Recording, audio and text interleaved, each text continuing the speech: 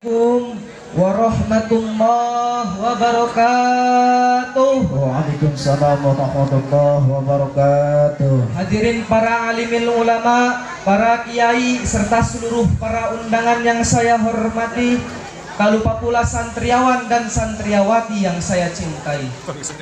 Ada baiknya untuk meningkat waktu, langsung saja saya akan menyampaikan tentang kehebatan bismillah.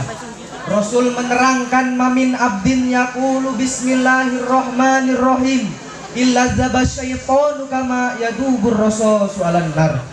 Tidak ada seorang pun yang baca bismillah terkecuali kalau ada yang baca bismillah syaitan bakal hancur bagian timah dibakar api.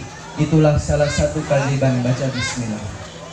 Seorang alim Wes bin Hajaz menceritakan ada setan yang mendekati terus ngomong Waktu aku pertama kali datang untuk menggodamu Aku gagah sehat dan kuat seperti onta betina Tapi sekarang aku gering kurus, kurus dan lemas Wes bin Hajaz bertanya kepada setan Apa yang menyebabkan kamu kurus dan lemas?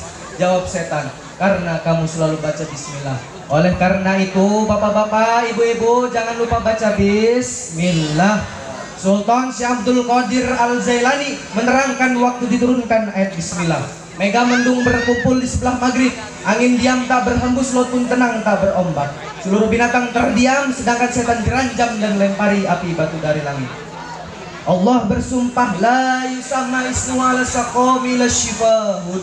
Demi keagunganku kata Allah, jangan disebut asmaku terkecuali kalau disebut asmaku yang sakit pasti akan sembuh dan kalau dibacakan di suatu tempat pasti akan barokahnya. Dan barang siapa yang selalu baca bismillah lam yabqa min dunubihi akan dihapuskan semua dosa-dosanya. Hadirin yang saya hormati, tidak banyak yang dapat saya sampaikan karena waktu dan kesempatan yang tidak memungkinkan.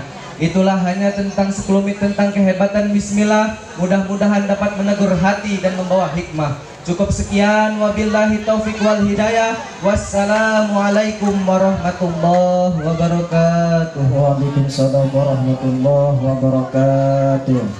Untuk selanjutnya akan saya panggilkan saudara Sapurudin dari Catihan Karangraja kepada Ali Misri harap bersiap-siap.